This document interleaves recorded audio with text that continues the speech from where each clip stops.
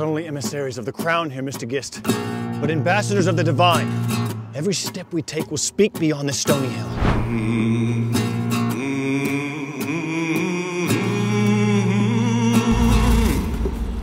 We'll not cross without a vessel. Suppose we return to Logstown, make quarters till the river bids us to cross. Good day, Mr. Gist. Virginia is not prepared for war with France. We shall cross, and without delay.